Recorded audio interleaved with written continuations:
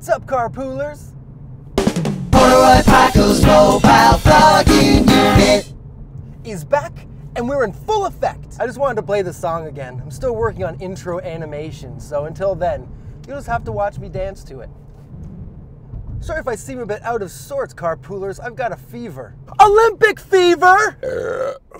have you been watching the Olympics? Of course you have. Everybody does. As soon as the Olympics start, all other things just kind of cease to exist in the entertainment world. And the thing with the Olympics, they're just like every sport conceivably imaginable put into two weeks of insane chaos. And everyone in the world who's really good at it, you're invited. The thing about the Olympics is that there's sports involved in there I just really didn't think I'd get so into, and probably wouldn't be as into it if it wasn't the Olympics. Like shot putting. Here's a big heavy metal ball. Throw it as far as you can. If I saw like a shot put guy in a bar, he's like, I'm an Olympic athlete, I'd be like, you are drunk off your pants because there's no way you're an Olympic. You weigh 400 pounds and you ain't doing the hurdles, let me tell you. You put a big metal ball in that guy's hand and he throws it.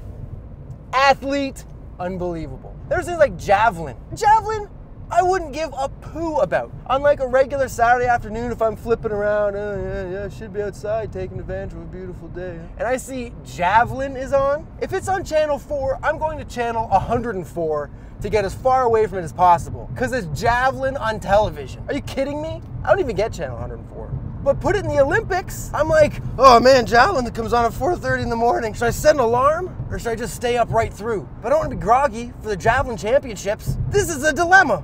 I've seen many Olympics. I've seen Summer Olympics. I've probably seen 40 to 44. I can't remember anymore. I'm quite old. But this Olympics, I've just been absorbed in, loving everything. It's always on the television. There's like five channels of Olympics, just going from one to the other. All right. Yeah. Yeah.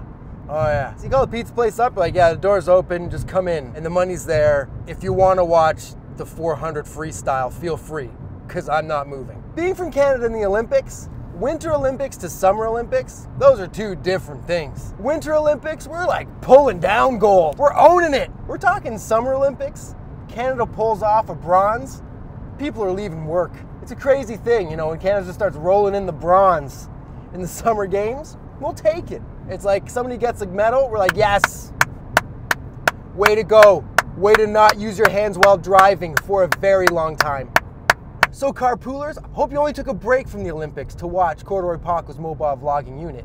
And trust me, I do appreciate it. And I hope this little break from the Olympics was so good, you're gonna like this. And you're gonna subscribe to this. Check me out on the Twitter, 140 characters to blow your mind every time. And then you know what you can do? You can thumbs up the Facebook group. Link is down there in the squawk box. So carpoolers, I hope I gave you a gold medal performance.